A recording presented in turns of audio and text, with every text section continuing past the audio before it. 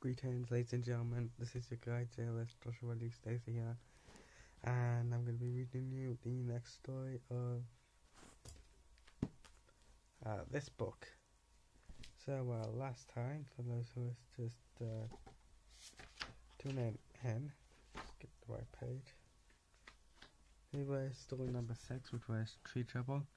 Now we're reading number seven, which is Tiny New Friend from the film Cinderella. Um, Cinderella is. I kind of, I kind of like it.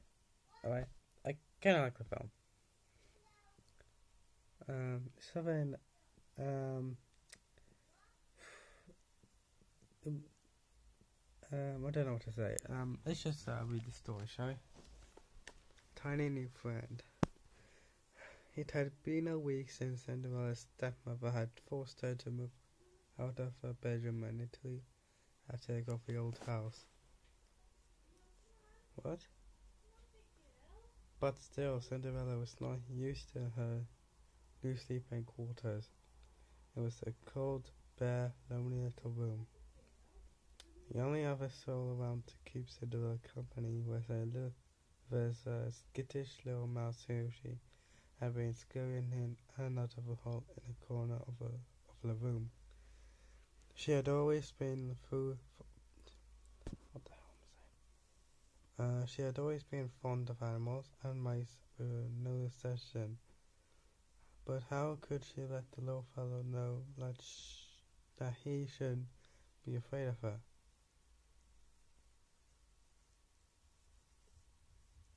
Well, thought Cinderella, he must be cold and hungry. So one day at supper time, Cinderella slipped a piece of cheese into her apron pocket. And that evening, when her work was finished, Cinderella hurried up to her room and pulled out her sewing basket.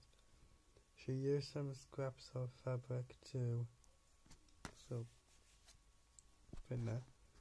She used some scraps of fabric to make a mouse-sized suit of clothing, a red shirt, a cap, a tiny orange coat, and two brown slippers. A tiny outfit for my tiny friend, she said. Cinderella carried the clothes over to uh, the mouse hole and knelt before it. She pulled the cheese out of her pocket and placed it, with the clothes in the palm of her hand. Then she laid her open hand just in front of the mouse hole. Hello in there, uh, she called. A mouse cautiously, whatever word is, poked his head out of the hole and sniffed the air. Seeing that she's, he edged, he edged out of the hole and never to, and over to Cinderella's hand. He paused and looked up at her questioningly. Go ahead, she said kindly. No, way. Go ahead, she said kindly. They're a gift just for you. Seeming to understand, but still skittish, the mouse scampered onto her palm, picked up the cheese and the clothes, and hurried back into the mouse hole. Cinderella chuckled then waited patiently for a few minutes, still kneeling in front of the hole. Well, she called after a short while, let me see how they look on you. T timidly, the mouse came out of his new outfit. Cinderella kept, clapped her hands. Perfect, she said. Do you like them? The mouse nodded. Then he jumped as if as if an idea had just occurred to him. He scurried he scurried back into the mouse hole. Cinderella frowned. Had she frightened him? But her worries had vanished when the mouse reappeared. reappeared, along with several other mice who followed dimly behind him.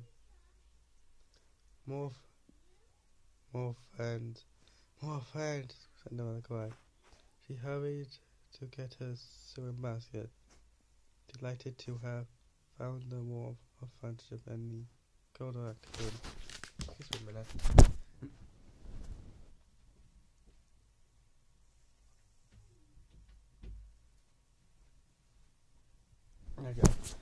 Um, this is kind of a it's kind of a weak story for me, guys. This story was kind of weak. Ah. all it just says is, uh, Cinderella's a fond of animals and does makes a suit for a mouse. Ah.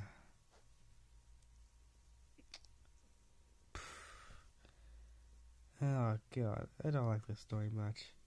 Hopefully, um, next story will be uh, better. Well, um, hope you guys enjoyed this story, cause yeah, it didn't much. If you did, make sure to leave a like on the video, leave a comment down below, uh, subscribe to the channel with James for next, uh, follow me on Facebook, Twitter, and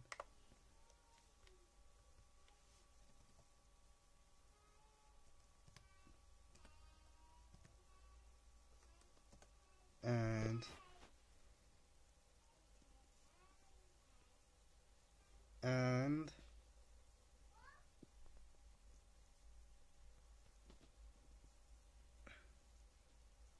Instagram. So this is JLS Laid Out, and don't forget to do the sandwich. Uh, see you later. See you in a minute, guys.